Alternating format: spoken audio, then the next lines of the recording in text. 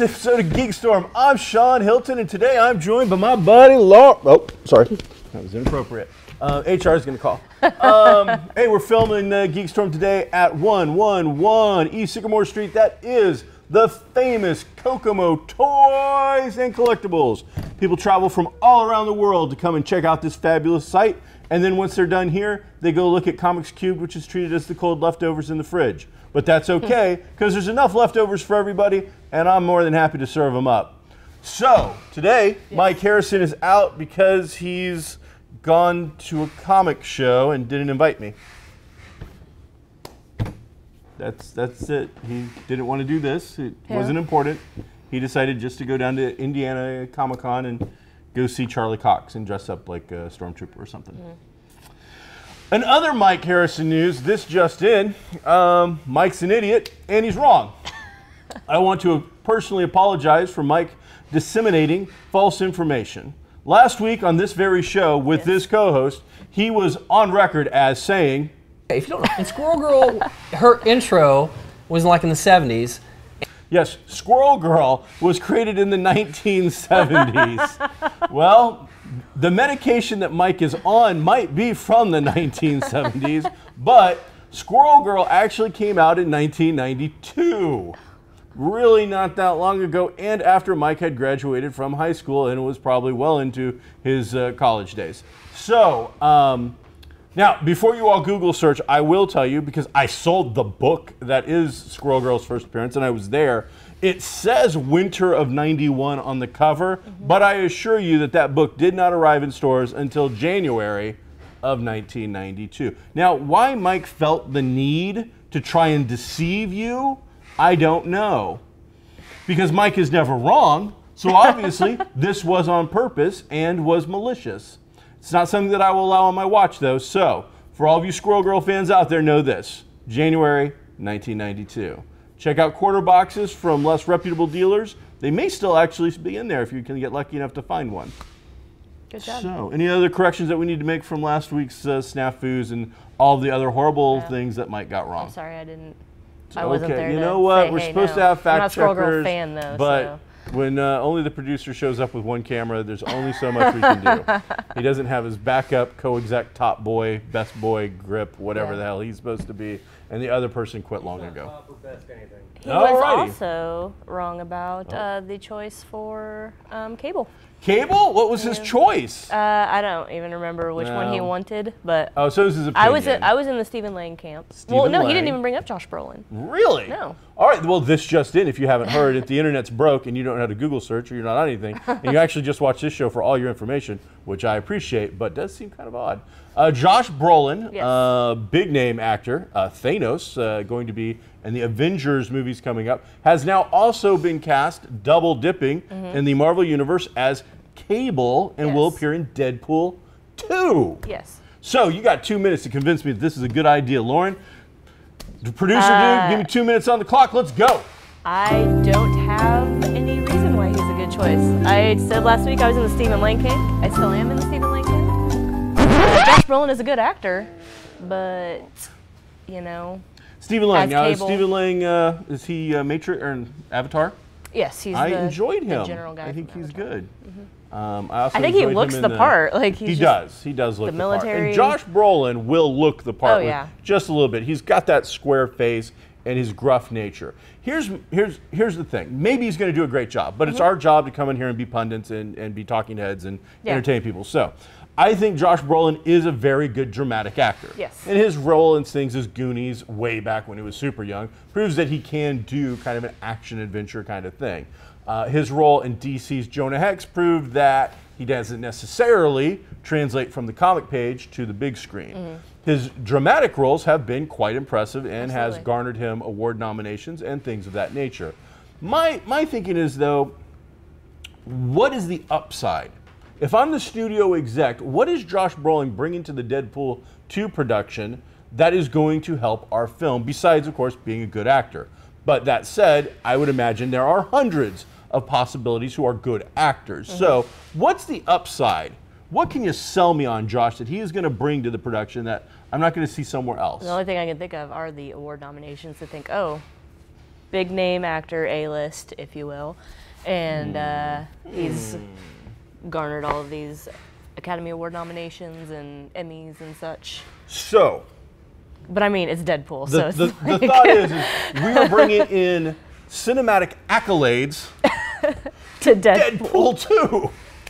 All right. Um, see, I see no upside to Josh Brolin. I think Josh Brolin is going to inflate your budget. Oh, yeah. I think the crossover audience of people that are huge Josh Brolin fans are not going to bring enough butts to seats to make up for that.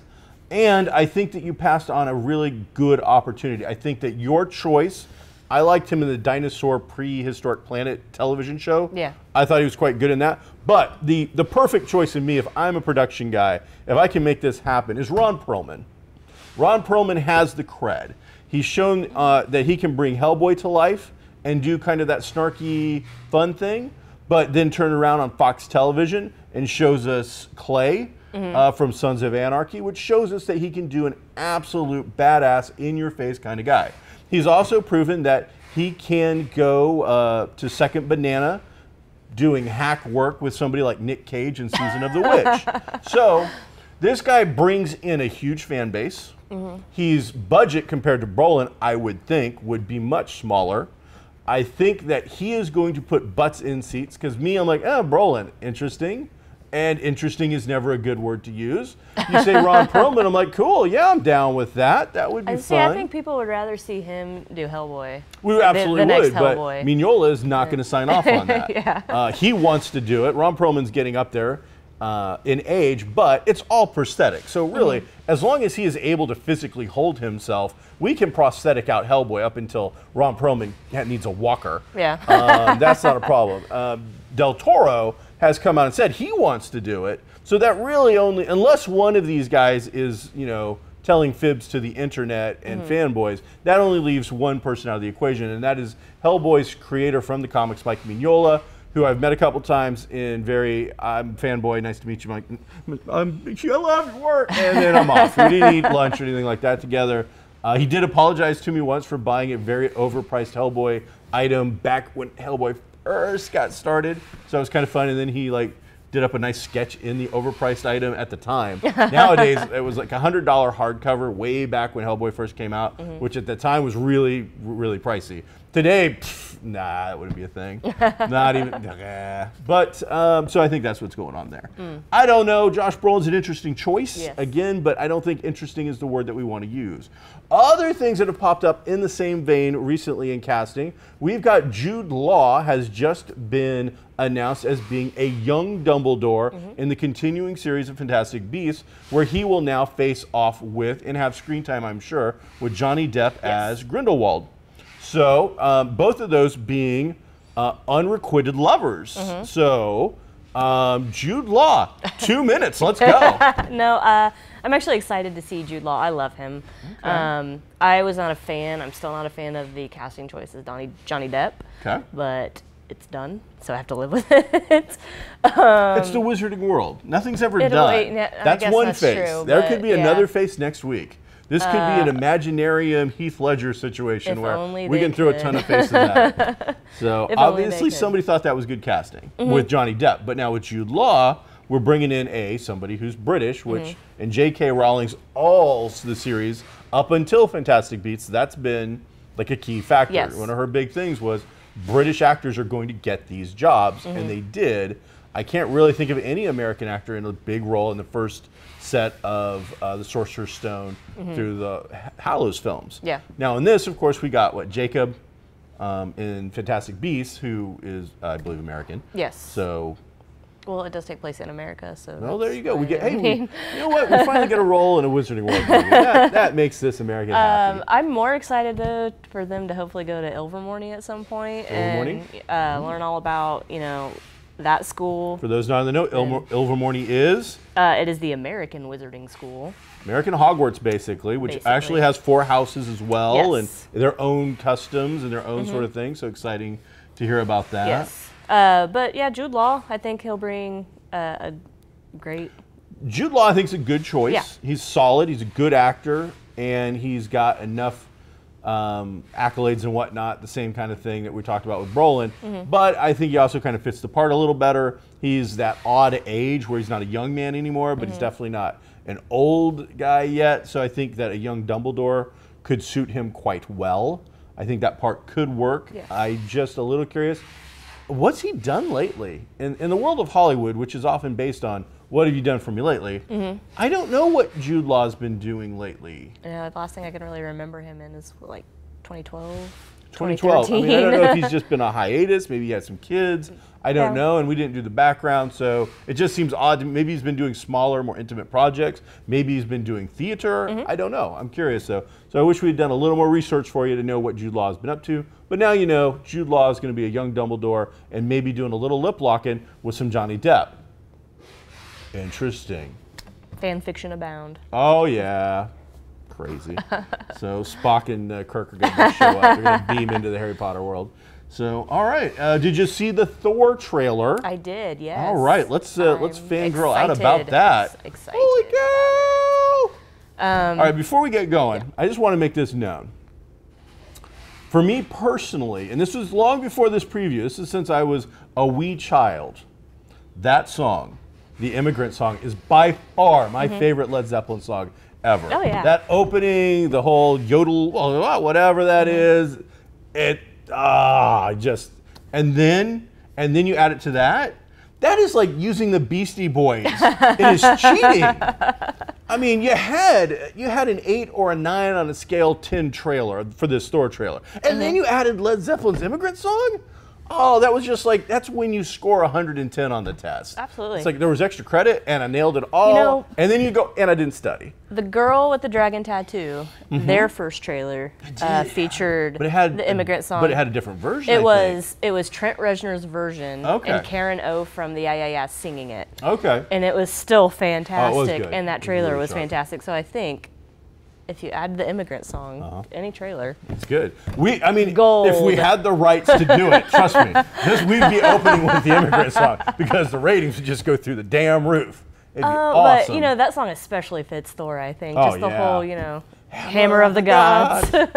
Love it. Hela uh, looks amazing. Oh, yeah. Played by Cate Blanchett. and such a beautiful woman. Mm-hmm. But beyond the fact that I can fanboy out and go, oh, she's a beautiful woman. What a badass actress. She looks so fantastic as now- her too, just with the dark makeup and the dark flowing hair and and here's the thing as a fanboy who wants to see this stuff done fairly accurately i want Mm-hmm. to see the work of jack kirby respected and his work on thor is pretty well known that look that he has the kirby look Mm-hmm. is, is something odd and it looks great on a 2d page it looks great on a poster but bringing that into a 3d real world eh, sometimes can be a little iffy Mm-hmm. putting on a giant antlered headset thing on a woman in the 3D world. I'm like, man, that looks badass on paper, but I don't. Holy cow, they gave her the helmet and it looks amazing. Yeah. I'm like, oh, that's it. They, and- and the entire time I'm watching it with my wife, I'm like, it's Hela, it's Hela, holy cow, it's Hela. She's like looking at me like, you are just a drooling idiot. And I'm like, but you don't understand. They just, they did it. That's mm-hmm. there. That exists now. So not only is, is that beautiful, but again, the action scenes that we're seeing, and whoever is cutting their trailers is just a genius. Oh, yeah. It is every little fanboy quip and moment that you want to see. One, I don't necessarily feel that I've seen the whole damn film now. Mm-hmm. I've got a good idea, I think, of what we're going into, but I don't feel like I've seen all of it. yeah. Um, I mean, then there's little things here and there when she grabs the hammer and it disintegrates. I'm like, oh, that's bad. Not only is she worthy, she just punks you out. Damn, Thor, Odin's I, son. I, it was a perfect balance of her scenes plus action scenes, and then the comedy with the "Hey, we know each other from work." like, so funny. That is bust a gut. Mm-hmm. And that's the one thing is I think sometimes Helms, who I think is a fun actor, I Mm-hmm. don't know that he's got the chops to be that dramatic Josh Brolin kind of badass drama guy. Yes. But man, when it comes to doing kind of that self uh, deprecating kind of humor, he's so good at it. That scene, Hemsworth for Doctor Who, man.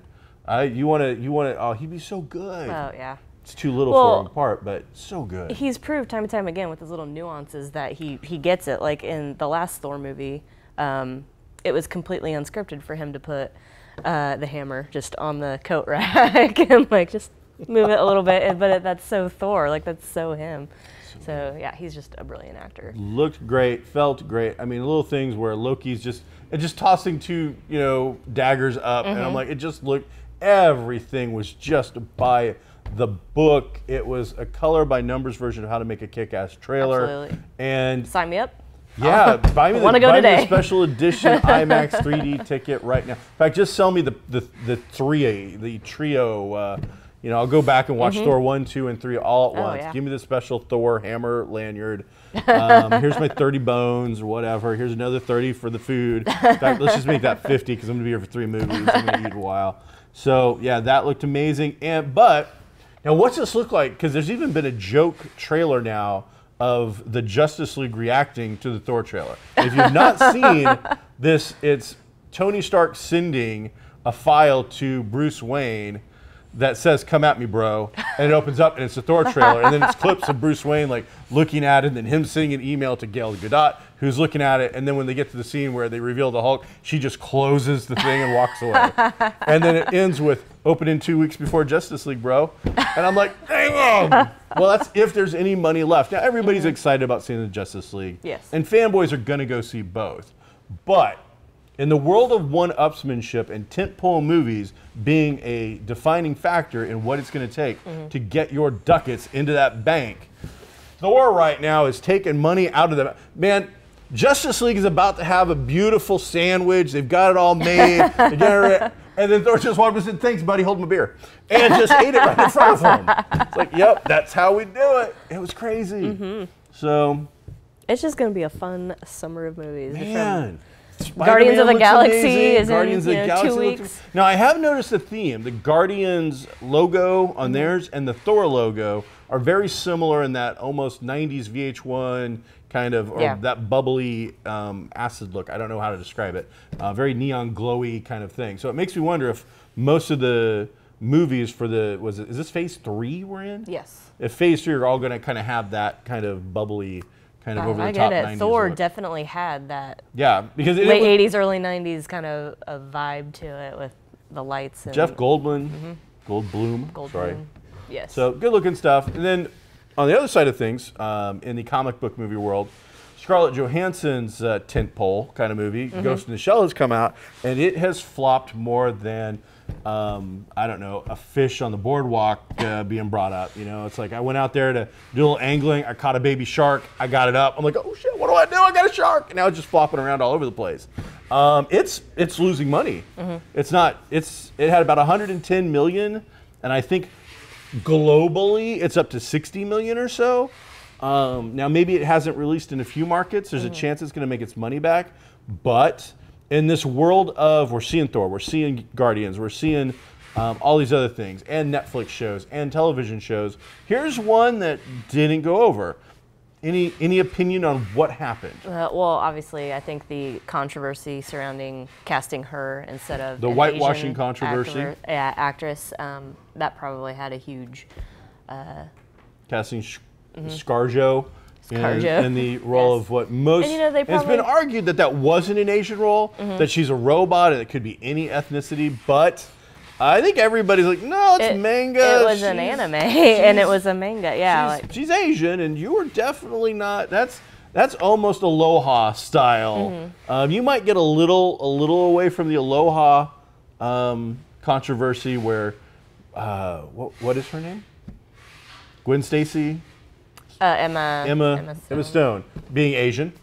I have no clue who, who thought in casting that, but at least again, there's a robot element. Mm-hmm. Now, does this? Do you think is this going to hurt Scarlett Johansson's stock with other films featuring female leads? Because there's been there's been some talk of whether female leads are going to be able to get over with fanboys and carry these films. Mm-hmm.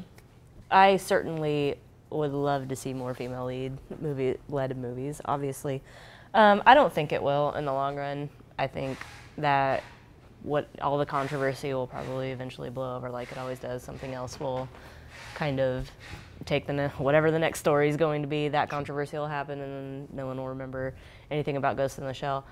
I think part of it is I haven't seen the movie, so I I don't know how true they were to the series or to the manga. Um, I think that could have been a part of it as well. People saw it, and there were a lot of people that were like, "I don't even care about who Scarlett Johansson played. The movie itself was terrible. The story was terrible." So uh, that could have a part of it as well. Like if you're just gonna have a terrible story and it's gonna be a terrible movie, it's going to tank. The word's going to get out, and no one's gonna want to see it. Um, people make choices. Sometimes they make bad choices. Uh, and this could be, you know, potentially just one of her bad choice roles, and Sure. she'll go do another, you know, her or I think this gets this gets hurt by um, some basics that we've that we just talked about.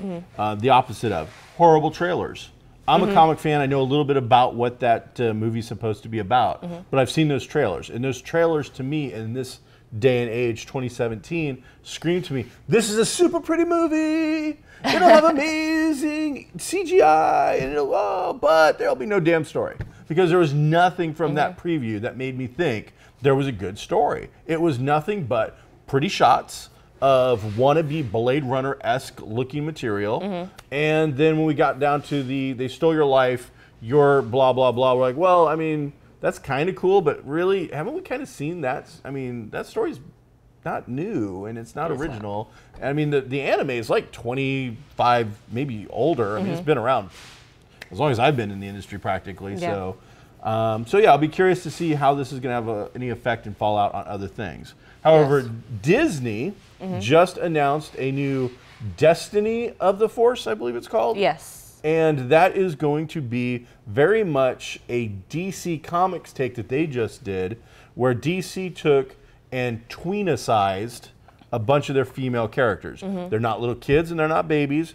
They're not adults and they're not the canon that we know being mm-hmm. those traditional characters. They're these high school type students now. And it looks like Disney is going to do that exact same thing with this uh, Force of Destiny Yes. featuring female characters from the Star Wars universe that most of them we, we all know. Maybe they'll introduce somebody, but it's going to be Rey and Leia and Sabine and characters like that. But not only will they get their own animated series, but they're also going to get their own toy line. And if the images that I saw are the correct images, it is a carbon copy of what DC has done with theirs, with Harley Quinn and Supergirl and some of those characters. Looks like a carbon copy of the same thing. Have you seen any of these images yet? uh, I haven't seen any of the toys, Okay. uh, but I I watched the little clip that actually Disney posted on Instagram. okay. What did you think of that And, clip? I, I enjoyed it. It looked Yeah? good. Uh, I I look forward to having something you know that my daughters can watch um, because they love Star Wars, and you Sure. know this is kind of geared more towards the younger audience.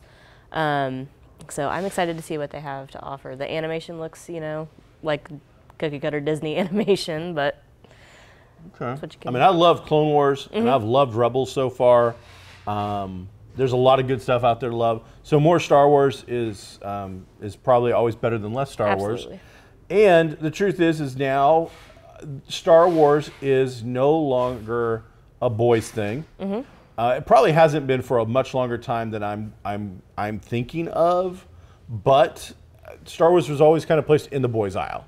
You know, if you go to the toy store and whatnot. Yes. But now I think that Star Wars transcends gender, Mm-hmm. and that's not to get into the whole, you know, gender this, gender that, all that, you know, 2017 politically correct talk. I'm talking that I don't think anymore that Star Wars has gotten so big with so many people, so many um, countries, Mm-hmm. and gender just doesn't matter with this. You either like Star Wars or you like Star Wars. If- I don't know that anybody hates Star Wars. But um, I think, yeah, I think we've gotten to the point where it's outgrown those kind of boxes. I don't Mm-hmm. think we have to make a pink lightsaber and a blue lightsaber kind of situation anymore. Nope. I think little girls are going to figure out, or screw little girls. I think little girls, middle girls, 80 year old girls, I think they're all going to pick the lightsaber. They go and they go, that's the cool lightsaber, and that's the one I want. I don't think it's going to matter that it was Rey's lightsaber or whether it was Vader's lightsaber. It's the which one appeals to me as my individuality. And I think Uh, that's going to be you're, if you're my kids, it's the dark side. Is it all dark side? Is that Darth Vader's? I want that one. is that Kylo Ren's? I want that one. Oh, raising those kids right. I love it. Um, in other controversial news, Wizard World has just announced a new addition to their stable of celebrities that do autograph sessions for them. So, Wizard World is one of the largest comic conventions in the world chained, meaning it's got franchise kind of thing where there is a Wizard World, there was a Wizard World, Indiana, Ohio, Chicago, Des Moines, Minnesota, uh, you name it, they've pretty much done it, tried it, been there. Yeah. And a ton of usually, and I'm not trying to be rude, B-list celebrities do these, and occasionally an A-list celebrity shows up. Charlie Cox and those kind of guys uh, do this kind of stuff. Uh, Daredevil from Netflix is Yeah. going to be at the Indiana Comic Con, which is not associated with Wizard World. I'm just using him as an example of an actor who's kind of A-list right now Yeah. who does these shows. So Charlie Sheen has been added to that list, and Charlie Sheen is a rather polarizing figure Yes. who has done a lot of classic work from Ferris Bueller's Day Off to Major League One, Two, and I don't know how many sequels to the starring role in probably one of the most uh, well-known uh, sitcoms of the modern era. And was it Three Men? Was it just called Three Men? Two and a half. Two and a men, half yeah. men. So until he lost his damn mind. Yes. So now there is a petition going around because he's already been signed up for Des Moines, uh, Minnesota, and like Philadelphia. That he's going to be at all these places signing autographs. And it's like 60 bucks if you want his autograph, 60 bucks if you want a picture with him. I don't know how much money it is to have an inappropriate situation with him, but I don't think I can afford that particular opportunity. As it, there's photo ops, there's autograph ops, and now there's get groped opt. I don't know. But um, there is a petition going around now to have Wizard remove him from the show. So, what are your thoughts? Um, a, I don't really, I don't know. I'm not a fan of Charlie Sheen at all. I didn't. Uh, he, everything surrounding his controversy.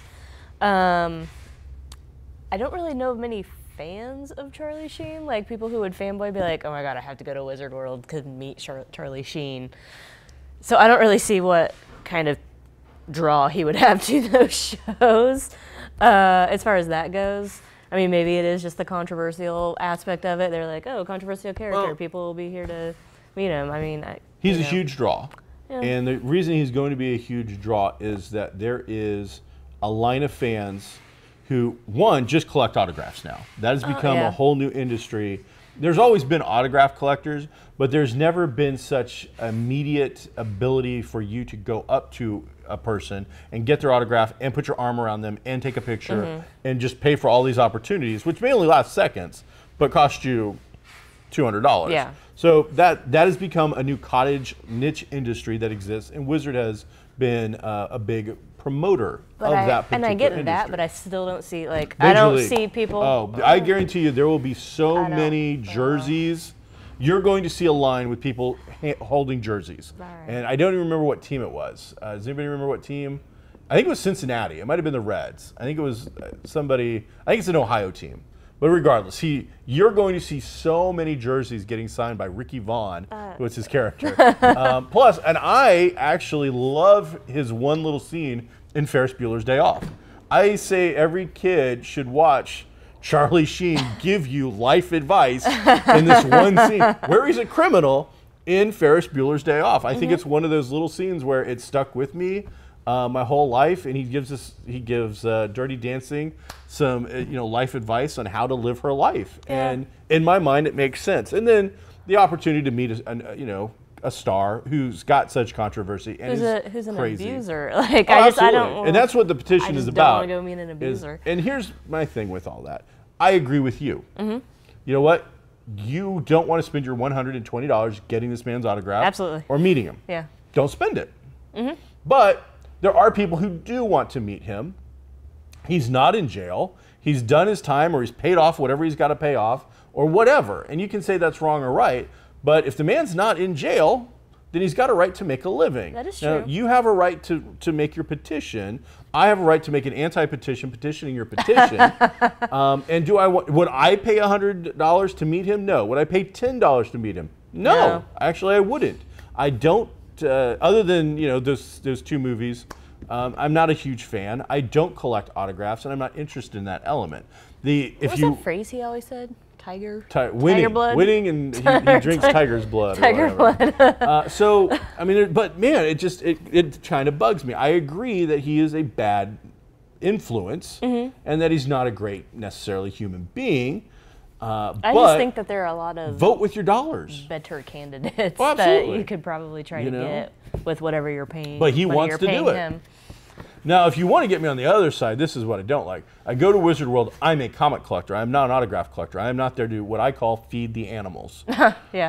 um, put them in their own little zoo somewhere else, put up giant curtains so I can't Mm-hmm. see them, and charge me the right amount. Because I'm going to be charged $40 to go into Wizard World, and the majority of that money is to offset the cost of those Yeah. celebrities who I don't give a damn about. Mm-hmm. I am there to meet comic creators, buy comic books, meet up and coming comic creators, and hopefully a legend or two. And for those guys, I am willing to pay a premium to meet. Uh, again, like a Steranko or a Bernie Wrightson who just passed away, uh, Michael Golden, uh, John Ostrander. Uh, if I had a chance to get autographs from uh, Walt Simonson, that would be a premium to me. But I'm not being charged a premium to meet those people. I am being charged a premium to offset the buy-in costs of Charlie Sheen, who I don't give a damn about. Now, there are again, there are fans who are very passionate about autograph collecting. Getting pop signed has become a new big thing of those actors. There's a whole, again, a whole niche industry that has been created for this. But yeah, just petitions. I, we did a whole thing where I went off on petitions. I remember. Here's the ultimate petition. It's called my money. You know what? If you're that dead set against Wizards doing, mm-hmm. don't go to that show. Flat out. Don't not be very specific here. Don't avoid Charlie Sheen at the show. Don't support the damn show. Don't give Wizard your money. Mm-hmm. They will get the message if all of a sudden nobody's going to the Thousands show. upon thousands of people. But this is a free economy. You live in a free market. You- You're living in the United States where these shows are taking place. If a ton of people do go, then obviously they want it. Mike Tyson was there last year. There was controversy about that, but turns out I don't believe that Michael Tyson groped, raped, or did anything inappropriate other than take your money and sign your crap. I'm sure he probably talked, and that was probably bad, but um, you know, again, you're if you are going to start, and I think there's also a double standard here, but if you're going to start saying Wizard shouldn't have people based on this, he is an abuser. Mm-hmm. How many of those guys have drug addictions or have overcome drug mm-hmm. addiction? And then somebody else really posted, well, that's not the same thing. What kind of monster would you be to think those are the same thing? I think that if you're a known drug user, that known people who sell drugs are probably going to approach you at this show trying to sell you drugs, bringing drugs onto the con floor where children are. And I think that these aren't the most responsible people, and drugs could somehow get into the hands of children. I think if you chose to see Charlie Sheen after knowing that he's an abuser, you've made a choice. I think you made a bad choice, but you mm-hmm. made a choice. If I go to see you know, Power Ranger number four, who happens to have a Coke habit that I don't know about, mm-hmm. and his dealer leaves a pouch of, you know, Coke or what, a pouch, but you get the idea, a vial of Coke. You know, I've been playing, you know, I've been A playing some. RPGs. So here's a, here's my pouch, my plus two Coke pouch of holding. But you get the idea. I think at that point, then we're going to be looking at how many of these people have convictions for this, how many people have been charged for that, how many people. I mean, Jason Mewes does these shows. He's he was a known drug dealer, I want to say, at one mm-hmm. point. You know, so why is he allowed back in? There's no controversy about him. And if there, I'm, you know, and I'm sure there's controversy about everybody. So, so these things come across to me as a little bit of whining. Also in controversy now, X Men Gold number one, the hot new Marvel book. Marvel's finally relaunching all their X books. Now, mm-hmm. Marvel relaunches eh, damn near every book they have, but be, and it's been said it's be due to movie rights, but they have not necessarily relaunched with the most amazing talent. Some of the teams have been eh. We haven't seen A-list kind of guys, and I apologize if you think you're A-list, but I sell comics for a living, and quite frankly, X Men for 20 years was the number one Marvel seller. Now I don't even think it breaks the top 10 um, on a good day. So this will finally break the top 10 and start bringing it back. But with the very first issue of X Men Gold, we have this massive controversy where the artist has put in some fun Easter eggs for you to find. I, I like how you use the term Easter. Easter eggs. Easter eggs. Because uh, what they are are they are notations, symbols, and I want to. I don't. It's not a psalm, but Uh, it's Quran a, it's a reference to a scripture in the Quran. Yes. Um, basically, and I'm gonna, I'm gonna, and I am not um, an expert in the world of theology or religion. I'm not pretending to be. I'm going to break this down. I've read a couple of different sources, but basically, there is Colossus is the big one. He's wearing a shirt while playing baseball, and it says QS, and then some numbers, 551. five eleven or something like that, five twelve something. That is a direct passage from the Quran, which, and I'm breaking this down, I apologize. Go look it up, Google it. Um, but don't trust the Jews and the Christians to be your leaders. They're allies amongst each other, they're not allies to us. Again, very generalization. Don't take my word on it, do your own research. If you're coming to us for actual super up factual information, then I don't know what to tell you. You made some bad mistakes. You might want to go hang out with Charlie Sheen and some Quaaludes and some roofies, and too much alcohol. But so, the Marvel didn't know about it, and I believe that they didn't know about it. Um, and then once you start reading into it, then there's lots of other little Easter eggs that your mind can start creating, and maybe they're there, maybe they're not. Um, holy cow! I, I don't.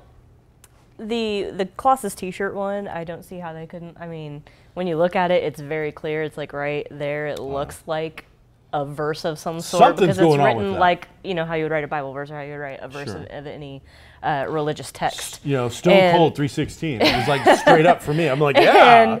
And I don't know how someone could see that and not think, hey, maybe I should research that. What what would that mean? Why would Colossus have you know a giant QS 551 on his shirt? What's that about? Maybe you know it was just an oversight. Uh, proofreader or something didn't catch it. I mean, they are editors, and the editors aren't supposed to just. And there's assistant editors. Mm-hmm. Let's be clear between editorial and assistant. that was probably an assistant editor that's getting the, the slap on the wrist for this one. Uh, he's done. The artist is uh, he's, he's, done. outright He's- said his career is over. and it, it probably deserves to be. Now, not to say that this is the first Easter egg. Easter eggs have been appearing in the backgrounds of comics Disney movies. forever. um, and some have been even said things about sex and things like that. Mm-hmm. But this is the first one where we had some religious uh, sentiment that seemed to be anti-religion, and especially, and here's the key factor: most of these are anti-Jewish statements. Kitty Pryde, who is one of the few well-known Marvel characters who is Jewish, for for the record, Ben Grimm, the Thing for the Fantastic Four, is also uh, celebrates the Hanukkah. Uh, these are the two major Jewish characters. She is the leader of the team for the first time ever. Yes. Joining when she was a little tiny kid, like a 13 or 14 year old kid. Now she's a full grown woman. Her first chance to lead the X Men. Her first book, really, in the ongoing series. And you have a guy drawing the book who obviously is very anti. Uh, now, and he tries to say he isn't, but these statements seem to make it quite clear. It, it's almost like uh, oh, what? but I respect you. And then you go and say whatever it is you're going to say, Yeah, you know, or whatever that Those is. butt statements. But, you know, that kind of thing. Uh, it doesn't give you carte blanche to say stupid crap. Now, Marvel did not recall this book. Mm-hmm. Um, they've said that when they reprint it, they will digitally alter that stuff. But you got to think this had a massive overprint run. I'm sure Mm-hmm. this was a big book for them. To recall this, they would have lost a lot of money. And in the past, they might have done it. With this one, I think it, they didn't. It did actually, if you think about it again. There's no such bad. There's no uh, bad publicity we did not sell out of the book. Now I over ordered quite a bit at Comics Cubed Tuesday, and I pushed it. I gave this to everybody. Everybody that walked in the door before we knew about this controversy. I'm like, X Men Gold's in. It's the brand new thing. It's you know, it's the flagpole for the new X Men. Got to check it out. Every single person, because I had one, I had to sell copies, and two, I want you to read this book. So you'll hopefully start reading the X Men again. Yeah. And Tuesday came around, the controversy blows up. I opened the store back up, and all the last copies came off the shelf and got bagged and boarded. I'm like, now you got to pay a premium. Um, normally, I am dead set against that sort of thing, but when I broke my ass for a week trying to sell you this book, and everybody's like, "No, I'm good," and then the next Tuesday, phone calls, "Hey, you got X Men Gold? Hey, you got X Men Gold? Yeah, now you're going to pay for it." I would have sold it to you happily last week at cover price with a discount. This week, you're going to pay full price plus a little more.